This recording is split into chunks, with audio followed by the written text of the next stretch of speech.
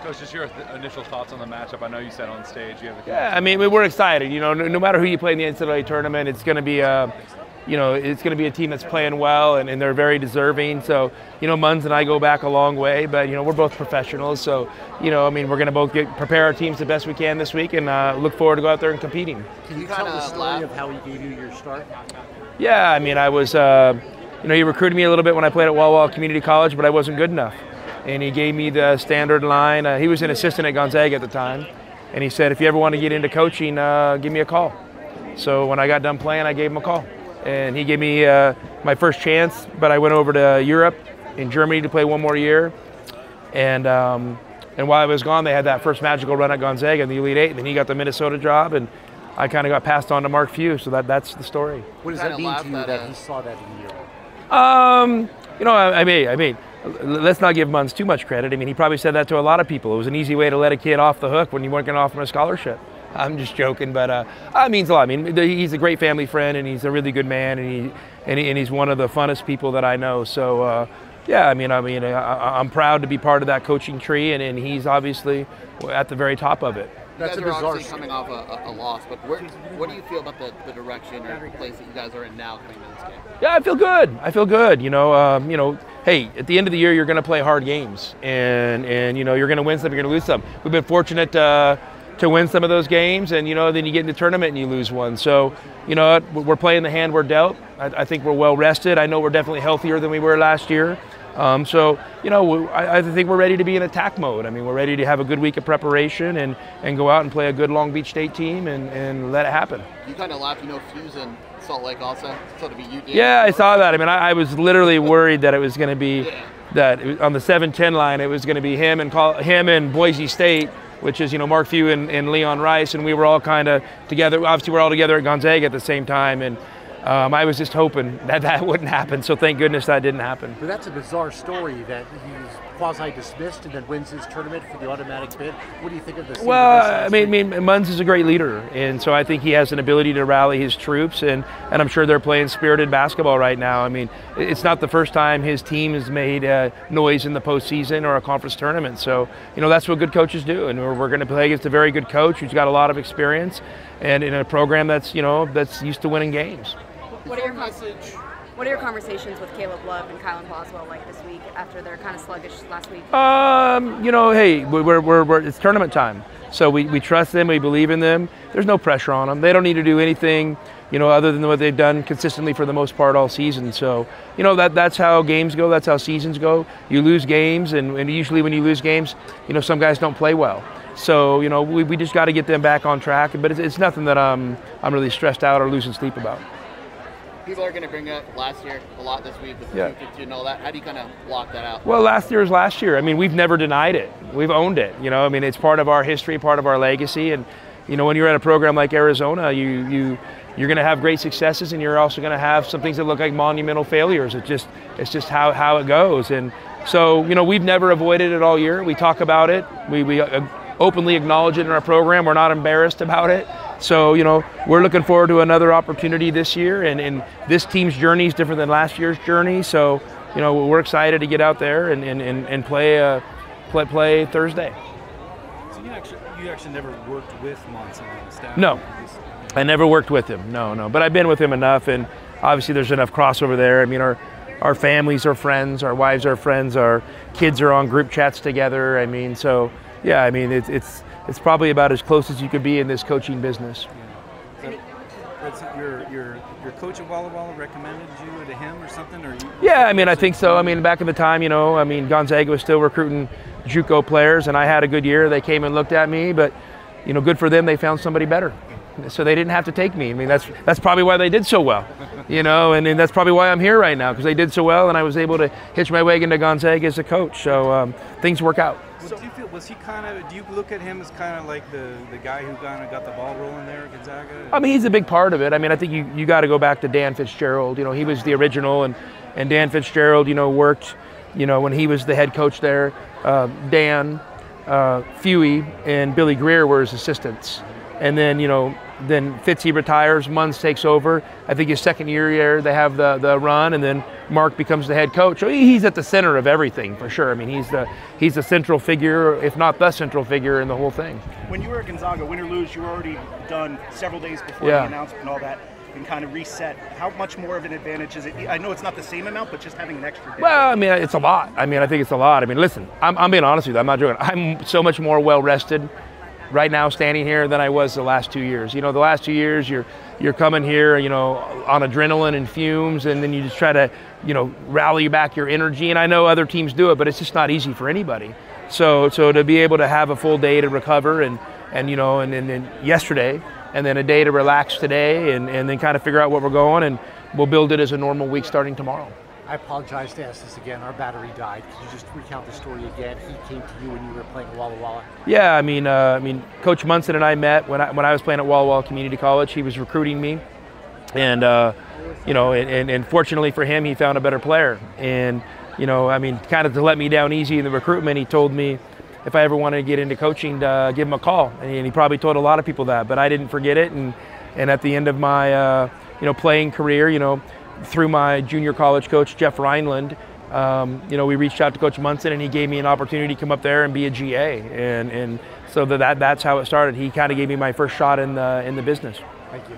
Do you think that I mean, is there similarities in what he does to what you do? What what few? I mean, I, I mean, I mean, listen, I mean, I don't know. I mean, I think, I mean, we never coached together, you know, and and uh, you know, we've been, you know, I mean, on different paths, you know, different programs for you know 25 years. So, you know, I mean, may, maybe we'll see some. I don't know. Um, you know, I mean, I mean, I'm sure you know he'll run his his, his classic play, crackdown. You know, it was an old Gonzaga staple uh, from back in the day that I think he still runs. We don't really run it much, but. Uh, but uh, yeah, I mean, I think there'll be fun things like that that I'll find out this week. To be honest with you, I haven't watched his team play that much, so I mean, you know, I mean, you're, you're pretty focused on your team and your your upcoming opponents. So I, I mean, I'm going to actually probably enjoy sitting down and watching his his team play the next few days. How does it feel on some level to know, okay, he's been fired whenever they end. If you win, that's the end of his time. I mean, listen, I'm, I'm hey, I got an I got a job, My- and my job's to to lead the Arizona basketball program, and, and so that, that that's a where 100% of my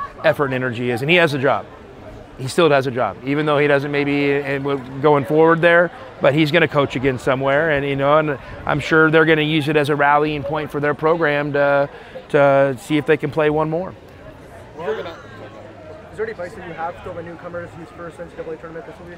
enjoy it and, and let it rip and they know that you're playing in a meaningful um, event you know that kind of captivates a nation and and and bring your swag bring your energy and and you know and and, and throw haymakers i mean that's how we're going to come out We're all going to go home and analyze the heck out of this matchup and all that. But how much of this is just about you guys and how you play? I mean, I, I think at the end of the day, always this time of year, you know, the first thing you gotta, you gotta, you know, you gotta do is you gotta do what you do well, and you know, you gotta, you- it's gonna be a short prep on a team you haven't played, they haven't played you, and you know, you, you, you gotta come.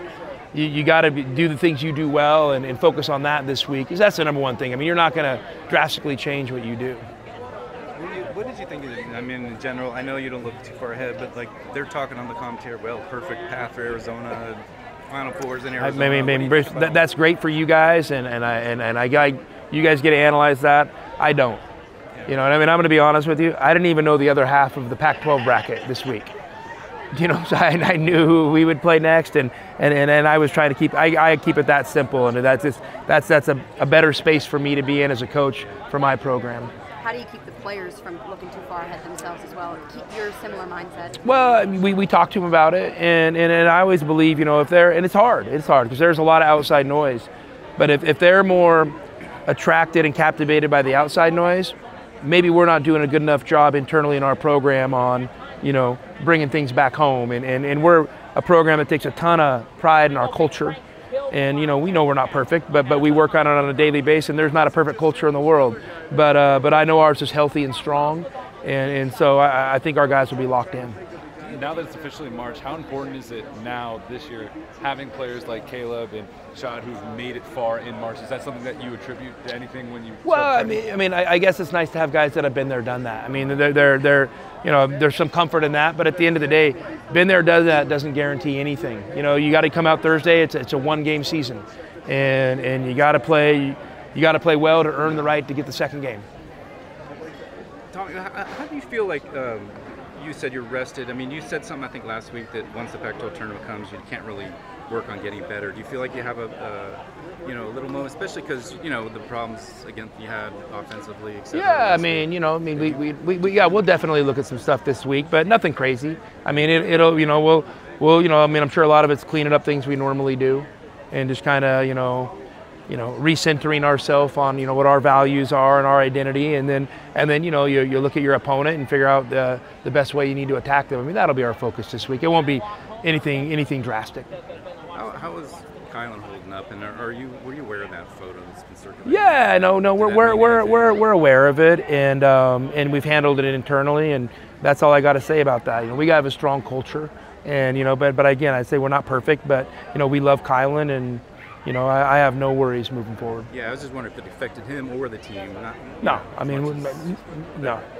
And how about Caleb too? Just the, the kind of I mean, You know, it was- slump he's been yeah, he just didn't play well. I mean, he's had a great season, just didn't play well the last couple games, and you know we can't overthink it. You know, I mean, we don't need to make a mountain out of a molehill. He's a great basketball player. He just needs to get out there and, and play well on Thursday. A lot of times fans will say like, "I'm glad we got the stinker out of the way." Like you got in, in a way like that you guys played poorly is almost beneficial. Are you do you buy that at all? Well, I mean, I don't know. I mean, you, you, I mean, fans justify things a lot of ways. That, that, and, and and that's what's cool about being a fan is you get an opinion and you get a voice with your friends. You know, but I mean, those things don't really penetrate us. And you know, we would have loved to play better, and you know, we would have loved to win the Pac-12 tournament, but we didn't. So you know, we got to play the hand we're dealt. And the hand we're dealt now is, you know, getting rested and re-energized and, and, and heading up to Salt Lake to play Long Beach. I mean, we, we're not overthinking it anything more than that. Is there anything to that in terms of, you know, not winning the tournament? You see maybe some things that you need to fix, and instead of winning it, and you know, I mean, you, I mean, you hope so. Like I said, you play the hand you're dealt, and as things show up, you know, you address them. So, you know, we'll, we'll, we'll take a look at some of that stuff, and we already have as a staff. I mean, we're, we're locked and loaded. We just need to kind of take a look at Long Beach State and figure out how, you know, how that looks against us, and, and then we'll make some decisions on what we want to do. Have you had, you know, when you, you guys do keep in touch, I mean, have you, over the years, have you talked to Dan about just the challenges there? I mean, that's a hard place to get it going. Well, I mean, it, And he, what- he's also what- had a lot of success there. You know, he's also had a lot of success, and it, it, maybe it's a hard place to win consistently every year, but he's done a he's done an admirable job. I mean, 17 years at a place like Long Beach State that that says something about your staying power. You know, the the only complaint I have about Munns is we shouldn't be playing this game because he and I had agreed this year to play a guarantee game. No, really. We had agreed. I was down in Mexico. I remember exactly where I was at when we agreed, and and then I get back, you know, and a, a couple weeks later, I check in with TJ, like, hey, did uh, we get that deal done with Munns, that contract? And and in the meantime, they found someone else. So we were supposed to play this year, and without Munns telling me, he canceled it, took someone else, and if he had we had played, we wouldn't have matched up against him. So this is Munz's fault.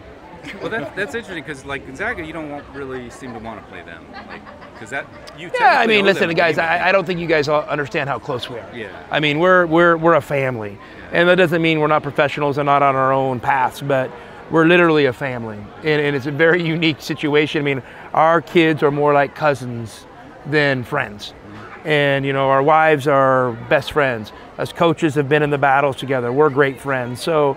I mean, I, I, I think the relationships run that deep, and you guys obviously don't see it publicly because we, we're not doing it publicly. I mean, it's all privately, and and and you know, and so, yeah.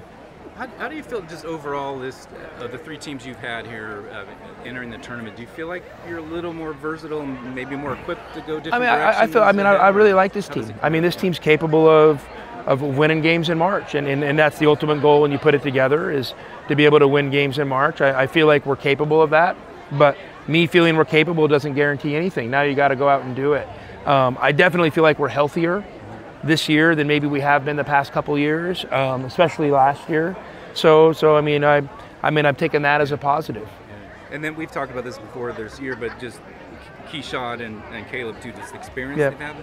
How much now that the tournament's here? How much do you think that? Well, I think it means a lot. I think it means a lot. I think they can send a great message to your team about, you know, you know what, what it takes in this tournament and and and you know what their teams went through, and you know every, tournament run, even if you do make a deep run, it's not without some struggle and some adversity, and and how you stay the course to overcome that. I mean, I, th- I think it'll be something. Uh, it'll be a great asset to us.